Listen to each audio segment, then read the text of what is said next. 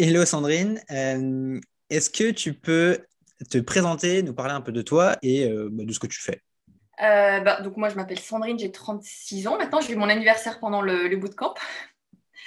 Et bah, dans la vie, j'accompagne des équipes de développement informatique à optimiser leur méthode de travail. Ok. Tu as d'autres activités en plus ou c'est où tu fais ça? Et puis après, bah, par passion, j'écris. À la base, plutôt, euh, plutôt des poèmes euh, sur les sujets de la maternité. Et euh, depuis le bootcamp, des, des vrais textes construits toujours sur ce sujet-là. Ok. Alors du coup, avant de t'inscrire au bootcamp, quel était ton, ton objectif? Quelle était ta motivation pour, pour t'inscrire? Euh, j'en avais plusieurs sans savoir vraiment laquelle était la plus, la plus forte. Ouais. Euh, j'avais envie avant tout de renouer en fait avec euh, l'écriture et de trouver euh, la nouvelle forme qui allait me correspondre, puisque je savais que le format des poèmes correspondait plus à, qui j'étais et à la, dispo que j'avais. Donc je, cherchais un moyen de, je cherchais un tuyau en fait pour faire passer de l'écriture sans, encore savoir quel serait le format de la chose. Je pensais aussi que j'allais me, servir de ce qu'on a appris dans le bootcamp sur, euh, je dirais, la, manière d'écrire avec une approche plus professionnelle. Je pensais que j'allais m'en servir dans mon travail pour communiquer sur, euh, sur euh, mon approche, sur les méthodes auxquelles je me réfère. Et en fait, au final, pas du tout. Je me suis rendu compte que j'ai pas du tout envie de, de mélanger mon travail et l'écriture, mais c'était une de mes motivations. Ok. Et hum, est-ce que, est-ce que tu as, tu as regardé d'autres programmes d'écriture? Qu'est-ce qui a fait que c'est le bootcamp Social Writing que tu as eu envie de faire? Euh, c'est une bonne question. J'avais peu cherché. Euh, enfin, du peu que j'en avais vu, souvent le- les formations sur, euh, sur le thème de l'écriture, elles prenaient la forme de masterclass de un tel, venez apprendre comment le champion de l'écriture a réussi. Et, et ça m'inspirait pas parce que j'avais l'impression que c'était très narcissique en fait. Un tel a réussi, il a, son style, il a sa méthode et on m'invitait à venir copier en espérant que peut-être pour moi ça marche. Ça, ça me, ça me parlait pas. Et euh, en fait, été inscrite à ta newsletter.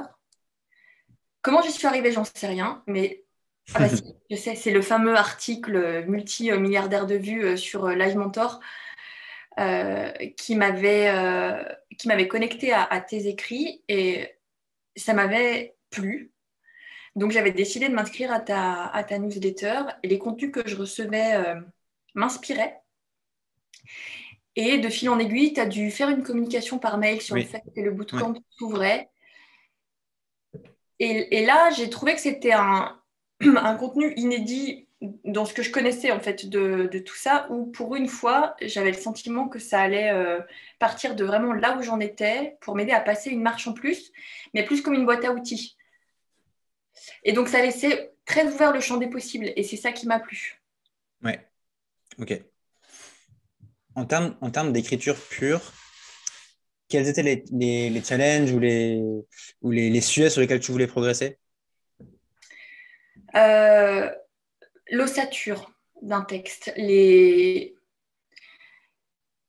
quelle que soit la, forme euh, extérieure, euh, du, corps, si on peut le parler avec un, corps humain, je voulais comprendre quels sont euh, les éléments fondamentaux qu'il faut respecter pour que, ça fasse cohérence, en fait, que, ça reste cohérent. Donc ça. Et je voulais gagner du temps en apprenant des techniques, euh, je dirais, de pro, plutôt passer des mois, des semaines à errer dans mon petit jus euh, d'amateur. Je voulais passer un cap tout de suite avec quelqu'un qui s'y connaît. Et est-ce que du coup le bootcamp t'a aidé par rapport à ça? Tu as le sentiment d'a- d'avoir trouvé ce que tu, ce que tu cherchais à la base? Oui, oui, complètement. Euh, bah déjà, ça m'a rassurée parce que j'ai vraiment trouvé les, les outils que j'attendais. Comment on construit un texte. Euh, ça m'a aussi apporté sur la confiance, parce que sans, sans, peut-être sans me l'avouer complètement, je, je cherchais un, un petit coup de pouce qui me dit Mais si, tu es éligible au rôle d'auteur. Et, et toi aussi, tu as des choses à dire. Et voilà, comment tu peux le dire aussi. Et en fait, ça, c'est le, l'apport le plus précieux, euh, le plus pédagogique de ce bootcamp, je trouve. C'est m'avoir permis de me jeter dans, le bain, dans le rôle de l'auteur, euh, en me prenant la main et avoir eu des, vrais encouragements sur le fait que, ça tient la route et que c'est même agréable à lire et que, j'ai ma place aussi dans, dans cette mare au canard de ceux qui écrivent. Mais euh, je, confirme à 100%. Je confirme à 100% et tu as largement ta place. Tout ce que, tout ce que tu as écrit, franchement, c'était, c'était très bien. Euh, et, euh, et, franchement, tu peux en être fier. Et je suis content de voir que si le, bout, le bootcamp ne t'a apporté que, que, ne serait-ce que ça, je trouve que c'est déjà trop chouette et j'en suis super content par rapport à ça. Bah, c'est. Selon toi, quels, sont, quels seraient les, peut-être les deux ou trois euh, points forts du bootcamp? Qu'est-ce qui fait que tu as, apprécié l'expérience des six semaines? Euh, bah c'est drôle, j'ai répondu au sondage cet après-midi, mais je vais voir si c'est les mêmes choses qui, reviennent.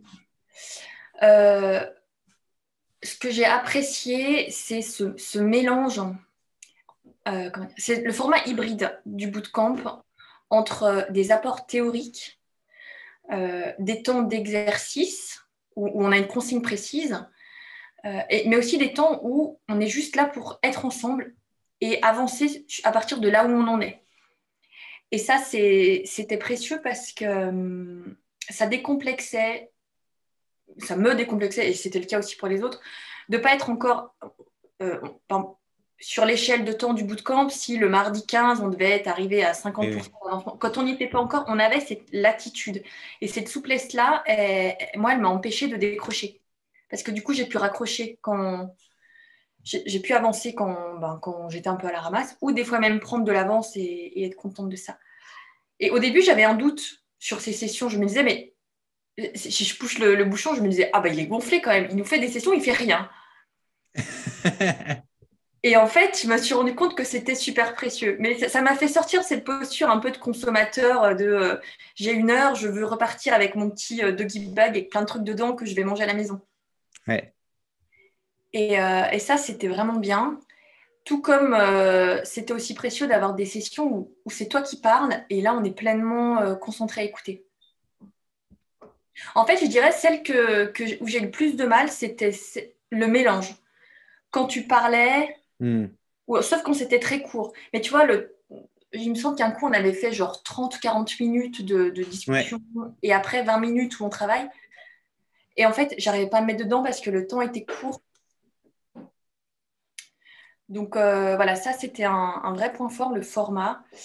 Euh, un autre gros point fort, c'est le, les capsules vidéo de feedback personnalisées. Où du coup, tu, tu nous donnes des enseignements qui qui ratisse, qui, qui, qui ratisse large et qui arrose tout le monde, mais qu'on ne prend pas tous, on prend pas tous autant. Et, euh, et, là, quand tu nous fais des capsules sur les retours de nos textes, j'ai eu le sentiment d'avoir aussi un prof particulier. Et, et ça donne un.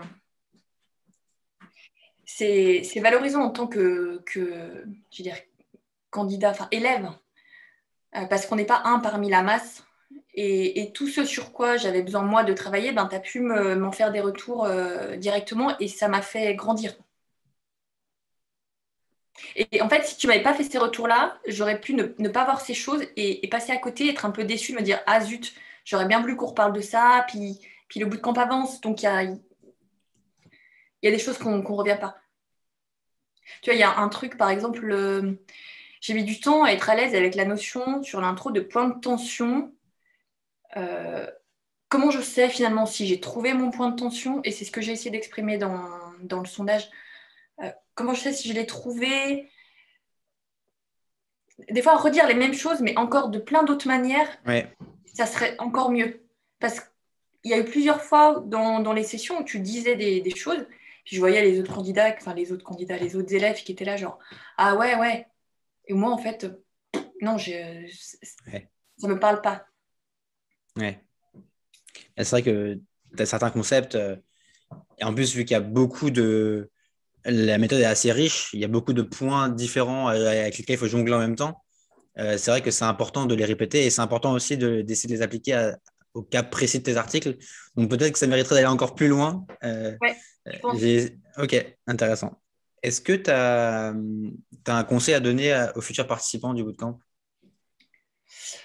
Euh, Oui, euh, je dirais de ne pas sous-estimer, en fait, d'être conscient que c'est vraiment un engagement, de ne pas sous-estimer euh, le bootcamp, pas, pas, pas suivre ça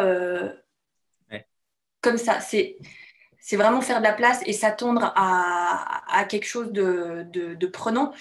Euh, parce que sinon, ils vont, ils vont être dégoûtés, en fait, parce qu'ils vont se rendre compte que même si au début, ils ne savaient pas trop, finalement, ils vont fortement, je pense, se prendre au jeu. Et s'ils n'ont pas prévu dans leur vie de faire la place pour ça, euh, l'effet, en fait, il va être doublement nul. Ils auront grillé une cartouche précieuse pour finalement le suivre qu'à moitié, se raconter peut-être qu'ils y reviendront les fois d'après, mais en vrai, non, parce que ça va, ça va très vite. Et je ne sais plus si c'est Clarisse ou qui était sur un gros projet qui disait ah bah j'ai dû décrocher euh, parce que j'arrivais plus à suivre et c'est dommage de, griller cette, euh, cette cartouche là ok. Ok trop bien. Merci beaucoup euh, Sandrine